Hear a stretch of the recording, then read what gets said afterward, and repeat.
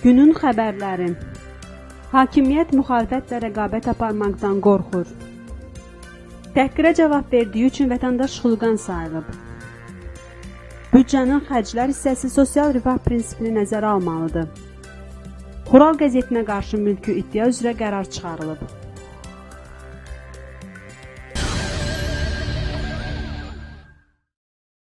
Milli Məclisə seçkilər üzrə seçki kampaniyası, o cümlədən deputatlığa namizədlərin qeydiyyatı kütləvi və kobud qanun pozuntuları ilə müşayiət olunur. Bu fikirlər oktyabrın 12-sində Azərbaycan Xalq Cəbhəsi Partiyası Müsavat Siyasi Partiyalar blokunun liderləri Əli Kərimli və İsa Qəmbərin keçirdiyi mətbuat konfransında səslənib. Əliyev rejimi ədalətli mübarizə olduğu halda qaçılmaz məğlubiyyət perspektivindən təşvişə düşüb və buna görə kütləvi qanun pozuntularına yol verir. Hakimiyyət əsas zərbəni AXÇP Müsavat blokuna hakim rejimin başlıca rəqiblərinə vurur. Hakimiyyətin total qorxusu total pozuntulara aparıb çıxarır. Misal üçün Azərbaycan Xalq Cəbhəsi Müsavat blokunun bir çox nümayəndələrinin qeydiyyata alınmasından imtina edilməsini qeyd edə bilərik, deyə Müsavat Partiyasının rəhbəri İsa Qəmbər bildirir. Qorxusu total xarakter daşıyır. Total qorxu da total qanunsuzluqlara gətirib çıxarır. Ancaq təbii ki, AXCP Müsavat bloku bu qanunsuzluqlarla barışmaq fikrində deyil. Seçki komissiyaları AXCP Müsavat blokunun namizədlərinin yarısını qeydiyyata almayıb. Belə ki, bu günə qədər 25 nəfər qeydiyyata alınıb, bir o qədər namizədin qeydiyyatından imtina edilir. Daha 41 nəfərin sənədlərinə baxılır. Hakimiyyət daha 6 nəfərin qeydiyyatından imtina etsə və artıq qeydiyyatından imtina olunanların şikayətlərini təmin etməsə, Azərbaycan Xalq Cəbhəsi Partiyası Müsavat bloku televiziya və radioda pulsuz efir vaxtı əldə etmə hüququndan məhrum olacaq deyə Azərbaycan Xalq Cəbhəsi Partiyasının lideri Əli Kərimi olmuş bildirdi. qeyri-rəsmi fövqəladə vəziyyətə baxmayaraq, müxalifət partiyalarının heç bir bu 4 il ərzində təbliğat təşviqat kampaniyası aparma imkanları olmaq olmamağına baxmayaraq, Azərbaycanda yenə də seçki zamanı Azərbaycan iqtidarını və onun parlamentə namizədlərini məğlub edə biləcək səviyyəli bir müxalifətin olduğunu hökumət etiraf edir. Bizimlə açıq mərd-mərdanə yarışdan qaçır, mənəvi cəhətdən özünün zəifliyini, siyasi cəhətdən özünün zəifliyini etiraf edir və alternativsiz seçki arzulayır. Əli Kərimli onu da əlavə edib ki, müxalifət nümayəndələrinə imza vərəqələri məhdud sayda verilib. İmza toplayan və imza verən şəxslərə təzyiq göstərilib və seçicilərin imzalarının həqiqiliyi polis və mənzil istismar sahəsi işçiləri tərəfindən yoxlanılıb.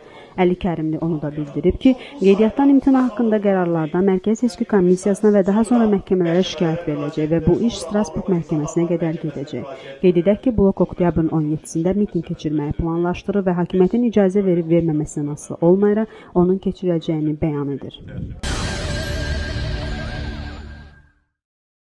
Oktyabrın 12-sində Norveç İnsan Haqları Evində ölkənin bir sıra ictimai qurumları Bakı sakini Murad Hüseynovun hüquqlarını qorumaqla bağlı dəyirmi masa keçirib.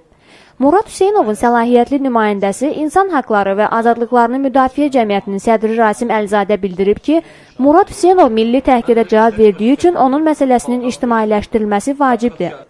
Bu ilin may ayının 11-də Xətai rayonu Xudu Məmmədov küçəsindəki kafedə telekanallardan birində muğam ustadı Alim Qasımovla bağlı verilişə baxanda stol arxasında 4 nəfərdən biri televizorun səsini alçatmağı tələb etdi.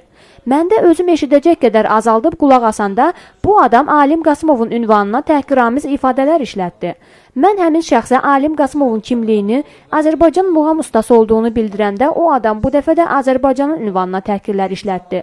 Bundan sonra mən onun qarşısında olan pivə bakalını onun sifətinə çırpdım deyə Murad Hüseynov bildirib. Sonradan Alim Qasımovu təhqir edən şəxsin İraqdan qaçaraq sığınacaq alan Eymən Ali Adnan adlı qaçqın olduğu məlum olub.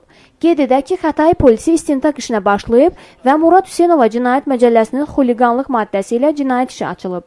Murad Hüseynov dövlət tərəfindən vəkillə təmin olunsa da, hələ üzünü belə görmədiyimiz vəkil onun müdafiəsi ilə bağlı hər hansı iş görməyib. Sabahki məhkəmə prosesində vəkildən imtina barədə vəsatət qaldıracağıq. Biz indi ancaq Muradın azadlıqda qalaraq mühakimə olunmasına nail ola bilmişik və Azərbaycanda müstəqil məhkəmə sistemi olmadığına görə Xətai rayon məhkəməsinin kütləvi təhqirə cavab verən Murad Hüseynovun günahsız olması barədə qərar verəcəyinə ümidimiz yoxdur deyə Rasim Əlizadə əlavə edib. Onu da qeyd edək ki, Murad Hüseynovun cinayət işi üzrə oktyabrın 13-də Xətai rayon məhkəməsində məhkəmə prosesi keçiriləcək.